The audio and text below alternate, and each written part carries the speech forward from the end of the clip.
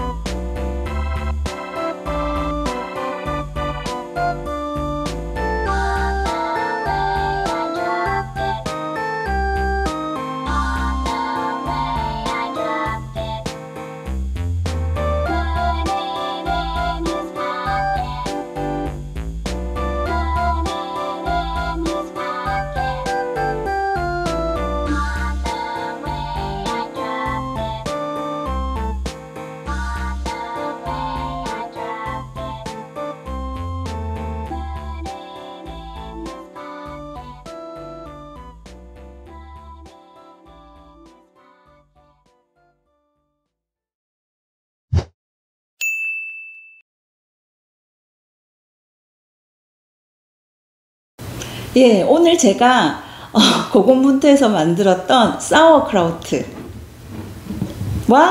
독일 하면 빠질 수 없는 독일식 소세지를 이렇게 플레이팅을 해보았습니다. 네, 사실 오늘 만들어서 오늘 먹을 수는 없어요. 아, 아까 조금 먹어봤는데 약간 짭조름한 양배추 맛이었어요. 네, 한 열흘 뒤에 어떤 맛이 날까 정말 궁금하기는 한데요.